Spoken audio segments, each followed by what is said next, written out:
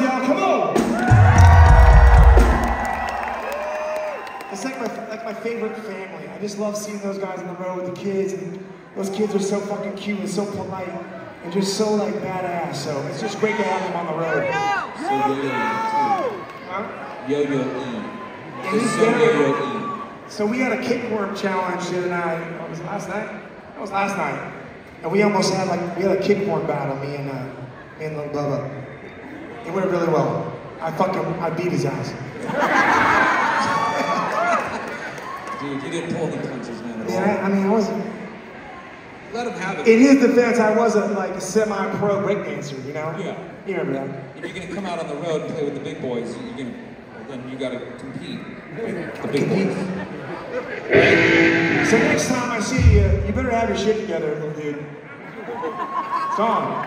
I'm gonna come back, but he's gotta practice. Me and Jared were talking about it earlier, and were Jared goes, dude, we, we'll, we'll spank other people's children. We don't give a shit. I was like, fuck yeah, that's what we need more of in this world. We just need to start taking care of each other's kids. Get out of line, fucking. Just sign a permission slip. You may beat my kids, fine. Don't make her cry.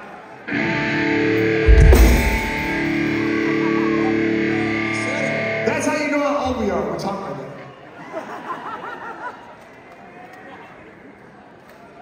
And songs like this from the 80s. Come on, let's do it!